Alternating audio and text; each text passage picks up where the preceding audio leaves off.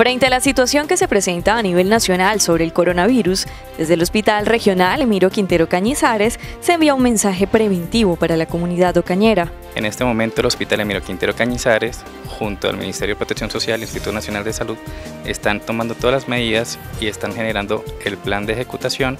sobre el protocolo que vamos a practicar con las personas que clasifiquen como casos probables. En este momento tenemos una ruta de atención que se va a practicar mediante personas que se puedan diagnosticar con el caso probable, ya sea de manejo intrahospitalario o sea de manejo ambulatorio.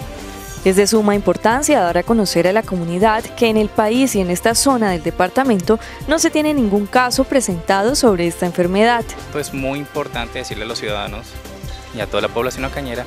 que no hay caso confirmado en nuestro país, aunque estamos en alerta máxima porque el virus ya llegó a Sudamérica. Frente a estas situaciones, personas que presenten